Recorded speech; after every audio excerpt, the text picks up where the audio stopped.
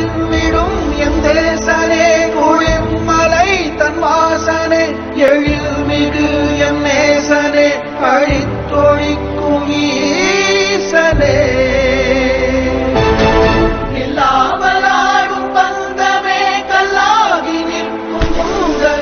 கல்லாயங்கட்கு சொன்னமே எல்லா உயிர் அந்தமே.